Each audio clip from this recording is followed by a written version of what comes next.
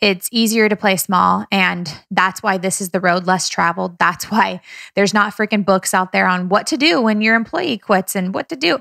You know, like there's just not. There's not that kind of stuff on how to build a team when you're a solo entrepreneur. There's no books out there. And so that's why I wanted to share with you guys this is because this is why I'm doing the podcast. This is why I'm taking you along on the journey. That's why I'm an open book. It's because I want this to be your roadmap. I want you guys to know that this kind of stuff happens, right? And what can I learn from it? How can I be a better boss? How can I make this the desired job for people to do instead of it being kind of like what it is now? It's it's, it's a lot of work, right? To, to manage me. And so I learned a lot today